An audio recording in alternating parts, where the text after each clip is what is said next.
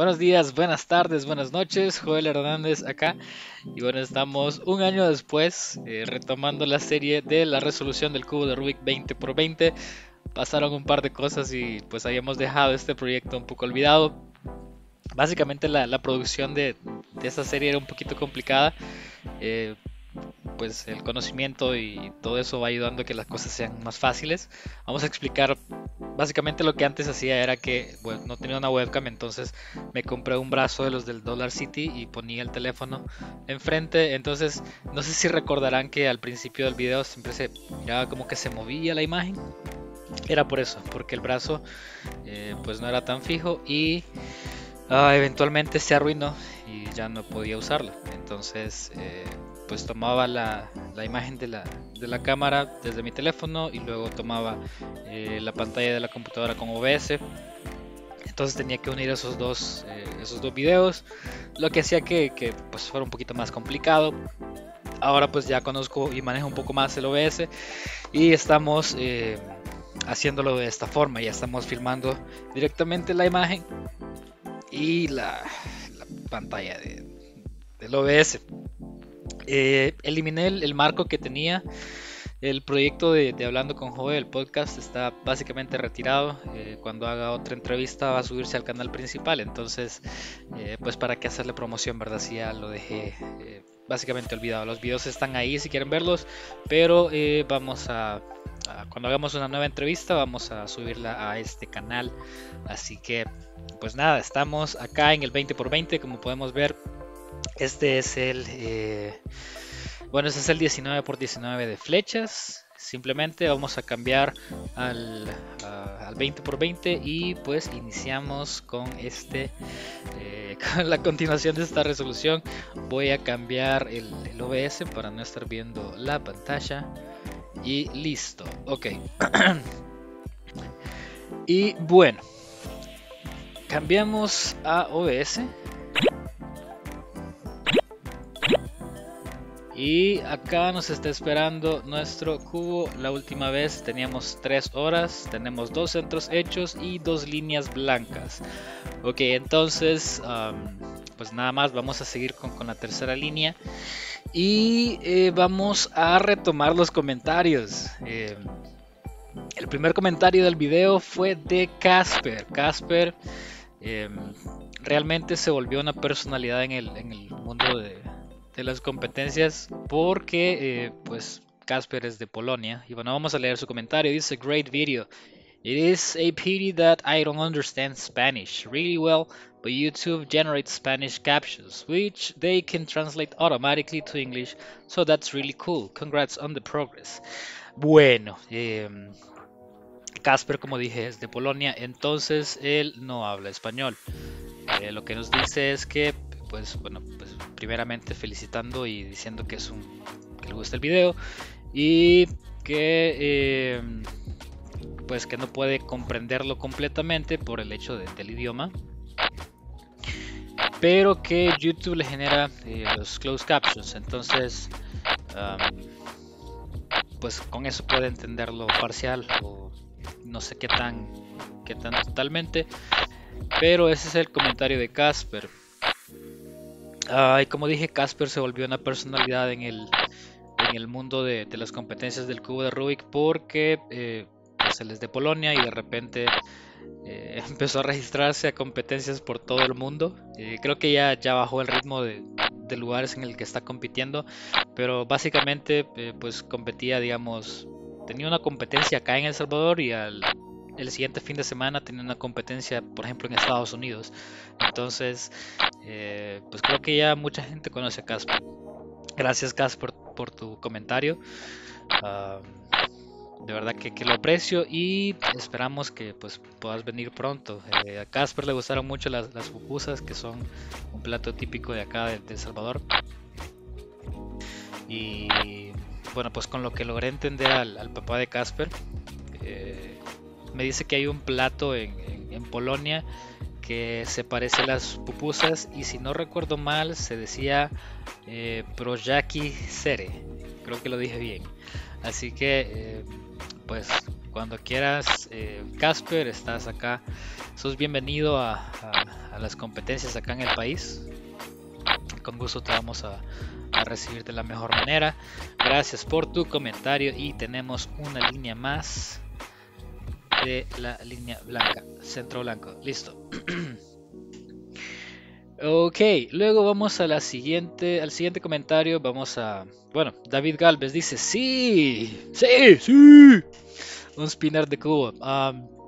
hicimos una rifa en el en el video de hace dos videos en el que yo pregunté qué centro deberíamos ah, continuar.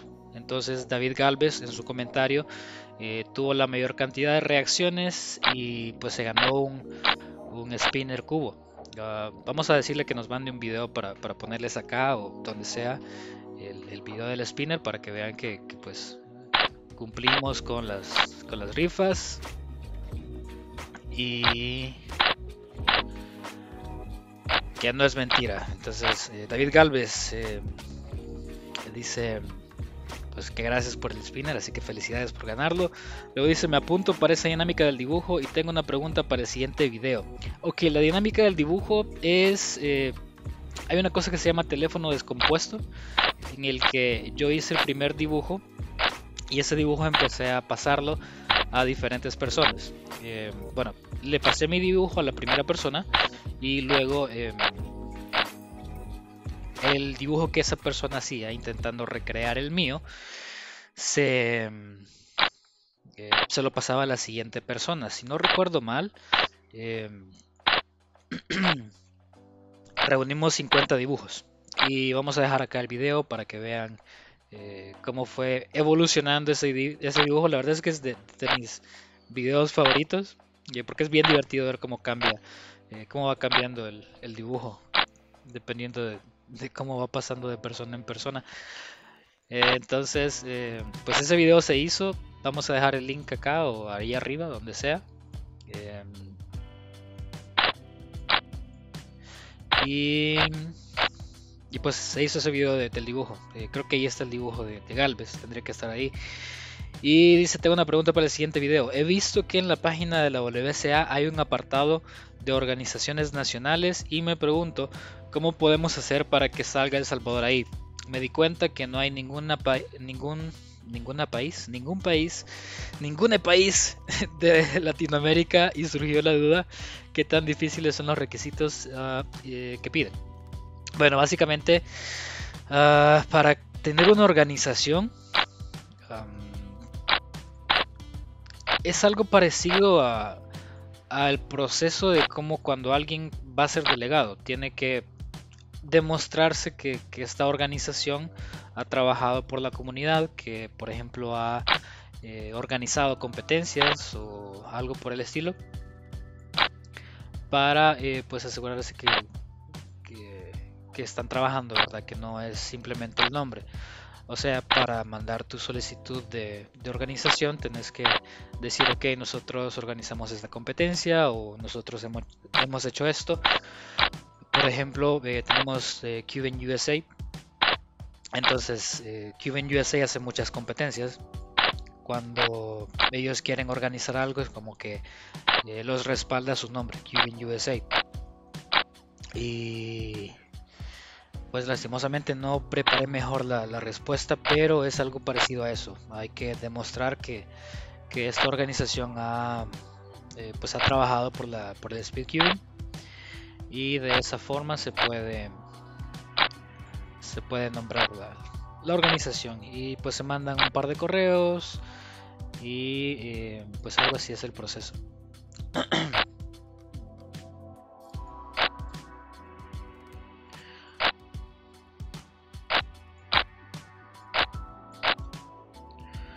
Así que Galvez, gracias por tu comentario. Estamos ahí con tu respuesta. Espero que haya sido respondida relativamente bien. Ah, luego estamos con Baltasar Chávez. Yo lo escucho mientras trabajo y mientras voy manejando. Muchas gracias, eh, Baltasar. Eh, sé que está ahí pendiente de, los videos. Eh, gracias por, por, el apoyo. se aprecia un montón. Ok,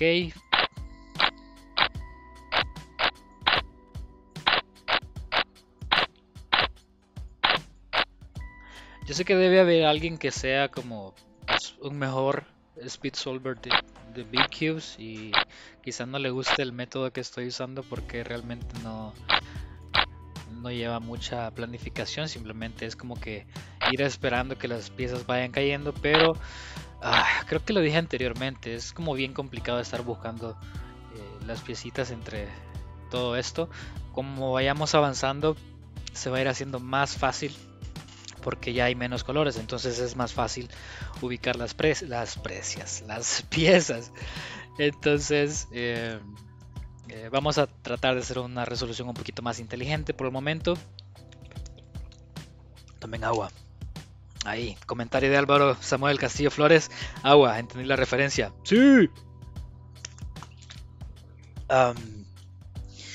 cuando ya avancemos un poco más, vamos a tener a, eh, pues vamos a poder ver más fácil los colores, entonces espero yo que la resolución sea un poco más eficiente, porque por el momento simplemente vamos a, como decimos los salvadoreños, a lo que caiga.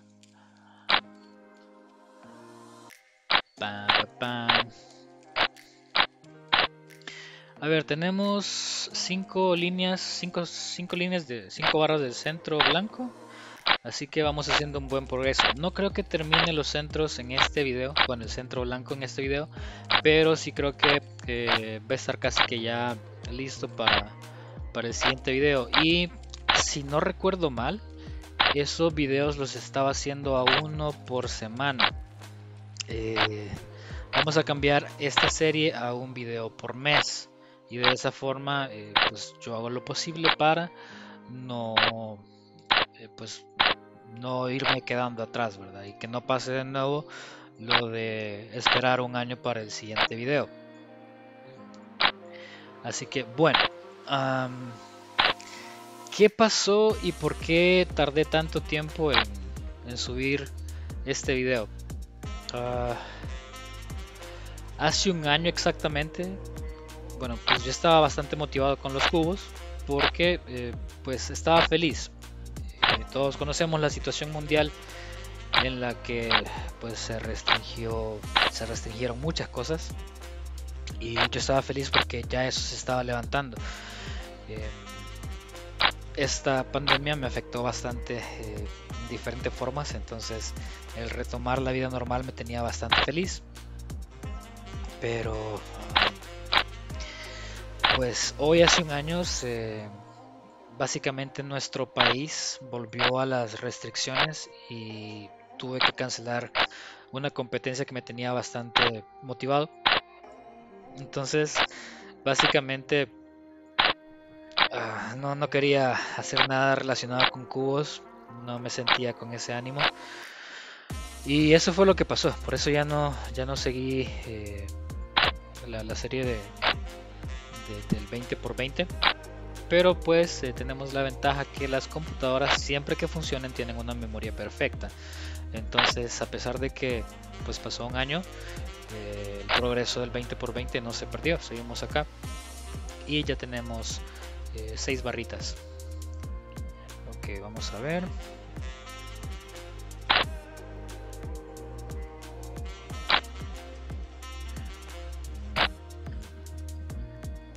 Ok, necesitamos la barrita número 7. 1, 2, 3, 4, 5, 6, 7. 2, 3, 4, 5, 6, 7 sería esta barrita de aquí. Entonces me sirve todas estas.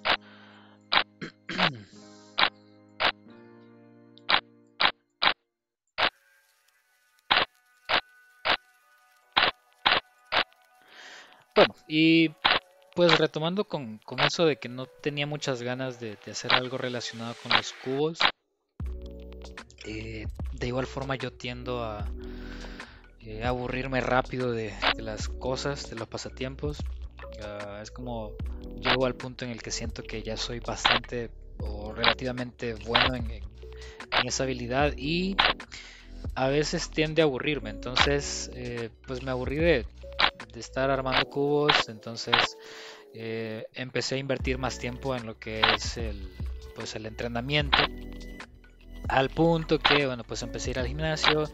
Eh, también tengo acá el video de, bueno, ya donde sea el video de, mi transformación porque estaba bastante gordito. y pues un año después ya le bajamos a la panza. Entonces, eh, pues me dediqué a, entrenar bastante al punto que pues me metí a, empecé a entrenar boxeo, siempre me ha gustado y eh, pues dije, ¿por qué no? Entonces empezamos a entrenar boxeo. Ah, hice, bueno, tuve una pelea, bueno, un sparring con, jueces. También vamos a dejar el link acá. Vayan a darle like si quieren ver cómo me golpean en la cara. Pues ahí tienen su, oportunidad. Eh, la experiencia fue muy buena. La verdad es que siento que es algo importante que un hombre, pues cualquier, que una persona sepa defenderse. ¿Por qué? Pues estamos en un mundo en el que de repente aparece un loco y te quiere golpear. Entonces, eh, lo mejor es saber defenderse.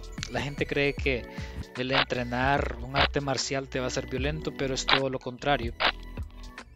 Al pues saber cómo reaccionar, al saber, eh, al tener el conocimiento y la certeza de que de alguna forma sabes cómo defenderte, eh, te hace a, que reaccionar o te hace ser un poco más, te hace controlarte mejor.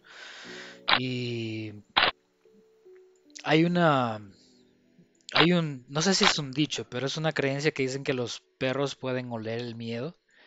Y creo que sí, medio se comprobó. O sea, ellos, pues su sentido del olfato es mucho más desarrollado que el de los humanos. Entonces,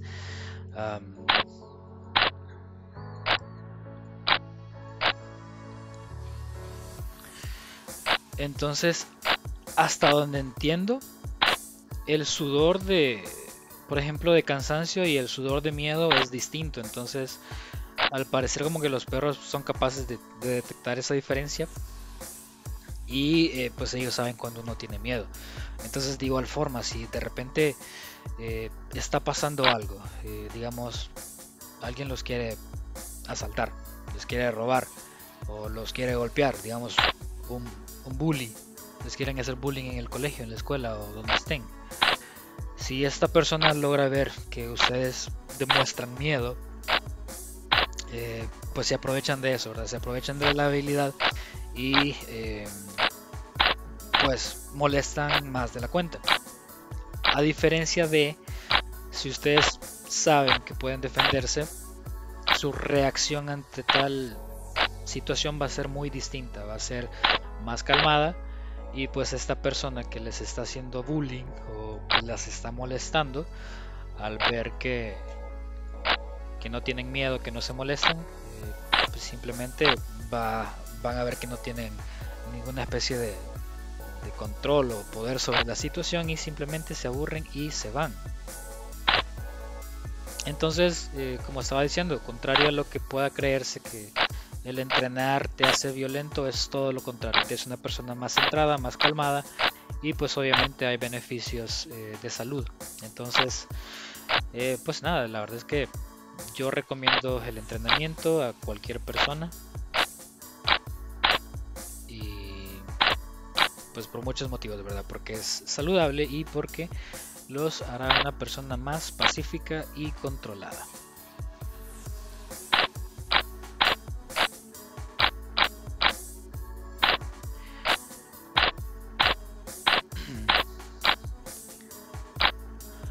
tenemos 15 minutos. Siento que el progreso va bastante rápido.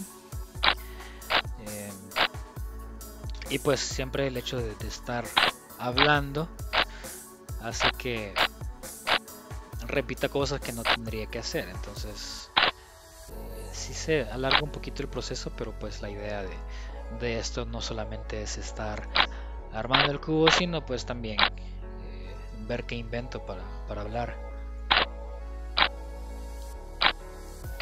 y esta línea no la no es el subsecuente o sea no es la, que seguía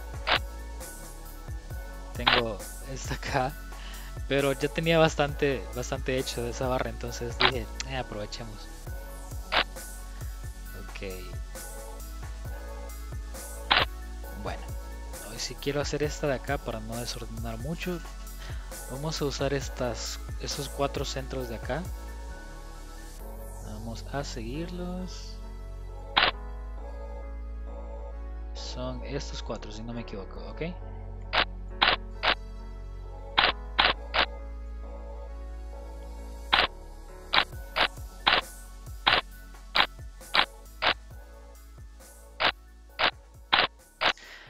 Y bueno, eh, pues igual, em, me metí bastante a esto del boxeo, sinceramente me gusta bastante.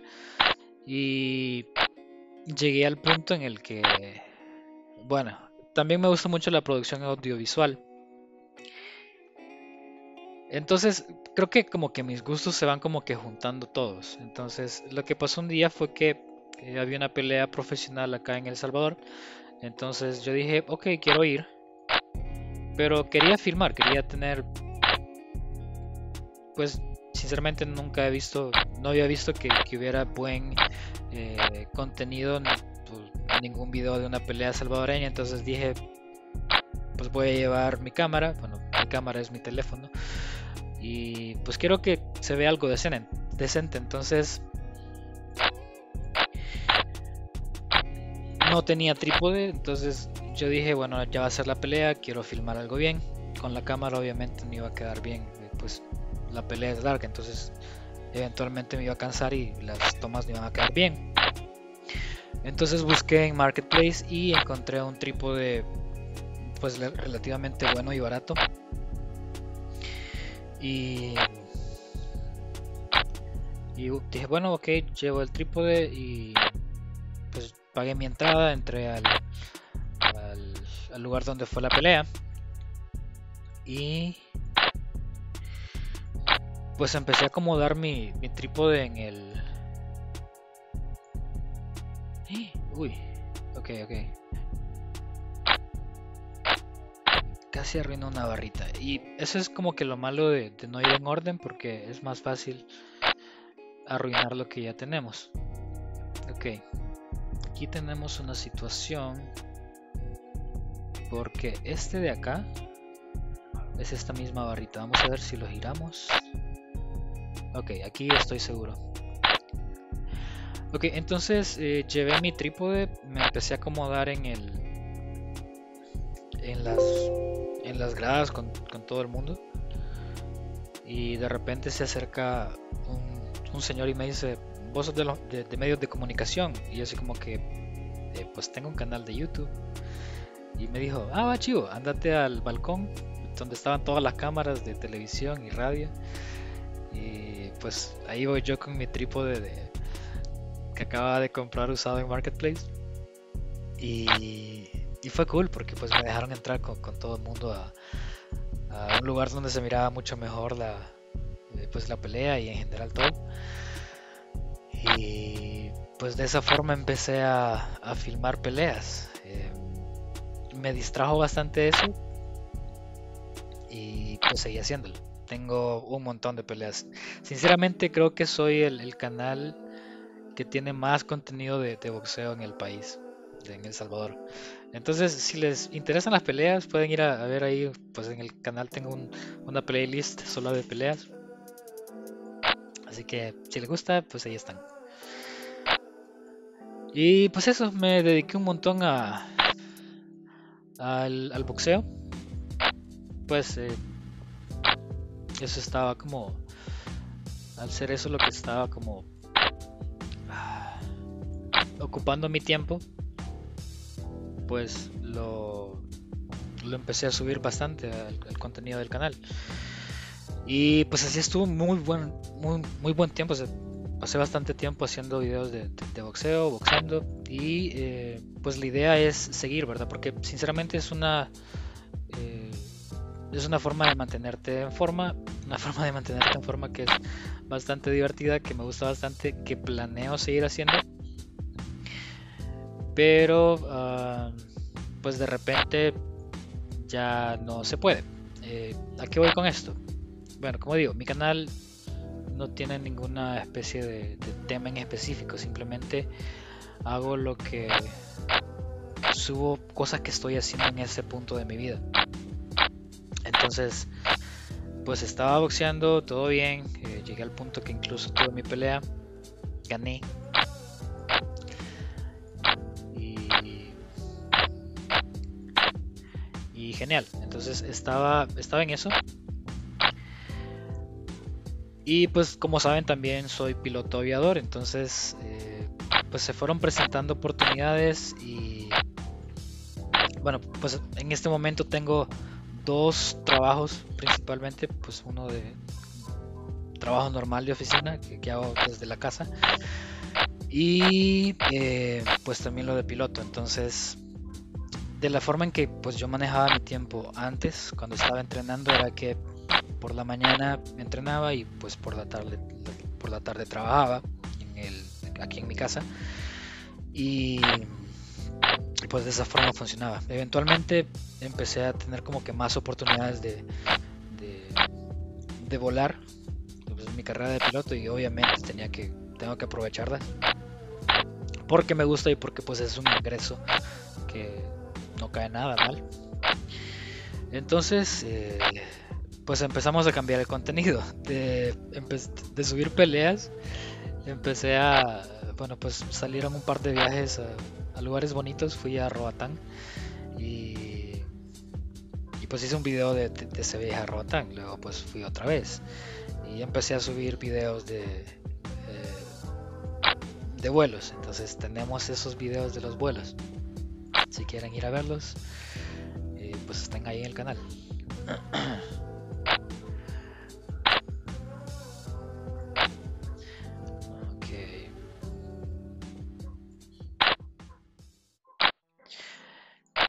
Y ok, bueno, ah, de esto, de, lo de, lo de piloto, primero solamente estaba solamente estaba volando y pues eso no, generaba tanto consumo de, tiempo porque por lo general eran vuelos eh, de que alguien quiere ir a conocer el país, a verlo desde arriba, entonces podemos hacer esa clase de vuelos o de repente un viaje a otro país y pues nada más, ¿verdad? Se hace el vuelo, y listo. Eh, despegas, aterrizas y ahí termina tu, labor de piloto. Pero estos últimos que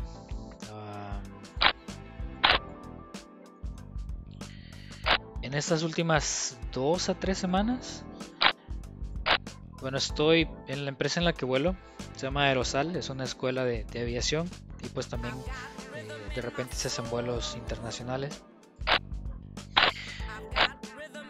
pues em, empezamos las operaciones de, la escuela y pues tuve que dar clases. Entonces, estas últimas tres semanas he estado dando clases de, aviación. Y pues eso también me, ha detenido de, de, hacer videos. Porque eh, dar clases no es como simplemente ir a volar. Cuando tenés que dar clases hay que preparar la clase, hay que estudiar, tenés que eventualmente hacer exámenes. Si dejan los exámenes y los van a repetir, tenés que hacer otro examen. Entonces sí consume bastante tiempo. Pero pues sinceramente me gusta bastante dar clases. Estoy pensando muy seriamente en hacer eh, videos explicando temas de aviación no sé qué tanto le parece al público. Pues igual, si de repente hago el video, pues se va a subir y listo. Ah, pero, pero sí, tengo esa idea porque, bueno, yo, pues uno da las clases y el alumno, cuando uno es alumno, bueno, pues como profesor, tratas de hacer todo lo posible para que el tema se haya entendido. Entonces, preguntas bastante que si hay preguntas. Entonces, eh, llega el punto en que nadie dice que tiene preguntas, entonces decís, ok, no hay preguntas, podemos avanzar. Pero a veces simplemente los alumnos no quieren preguntar por X o Y motivo y se quedan con esa duda. Y vivimos en este tiempo en el que tenemos mucha información disponible en Internet pero en aviación, la mayor cantidad de, de, información disponible está en inglés. Entonces, a veces em, creo que como que tampoco hay suficiente contenido de, ayuda para pilotos que hablen español. Así que estoy pensando en eso, en, en crear contenido de, educativo de aviación. Y... Ok, me faltan tres minutos, dos minutos. Vamos a... Bueno, termino este pensamiento y... Y luego vamos a dedicarnos a full a intentar terminar una barrita más. Pero sí, creo que voy a empezar a subir. Eh, pues obviamente esto no va a reemplazar a, una clase en, una escuela, pero pues como apoyo referencia, creo que puede, puede servir, ser útil. Así que vamos a, a estar próximamente subiendo contenido de, de aviación. De, bueno, la clase en la que, la que di fue peso y balance, performance.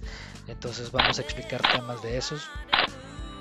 Si les interesa, si quieren ser pilotos, pues acá van a tener también, aparte de videos de cubos y de peleas, también van a tener eh, videos de, de educativos de aviación.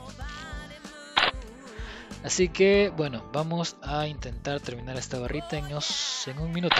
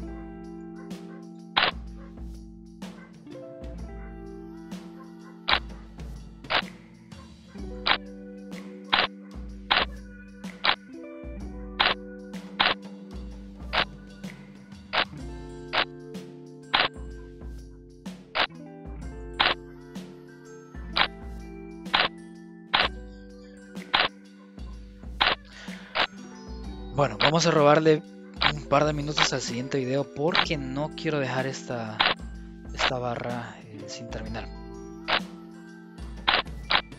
Uy,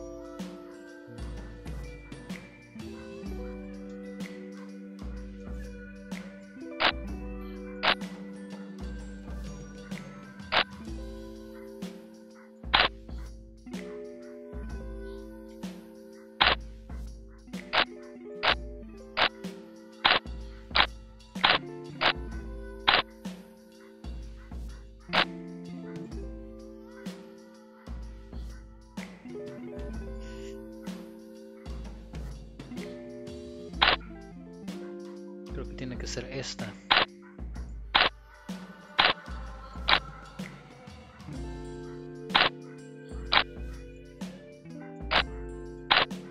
Ok, ya estamos en el punto en el que, como pueden ver, muevo esta que ya está hecha. Entonces, aparto, uno, aparto y regreso. Y ah, aquí no tuve cuidado, pero bueno, acá estamos. Tenemos 2, 4, 6, 8, 10, 11 líneas. 11 barritas, faltan 2, 4, 6, 7 barritas. Vamos a definitivamente terminar este centro blanco en el siguiente video. Y creo que nos da espacio y nos da tiempo para eh, empezar el otro color. Así que dejemos en los comentarios que eh, vamos a cambiar esto. Ok, déjenme en los comentarios qué color deberíamos eh, seguir. Que no sea el amarillo, necesito que sea un color adyacente. Así que, eh, pues para este video no hay rifa, pero agradecería mucho que comenten el color que vamos a seguir en el siguiente video. Como dije, esto va a ser un video de mes a mes. Y tomen agua. Y pues nada, eh, espero que les haya gustado este video, que se hayan entretenido. Y chao.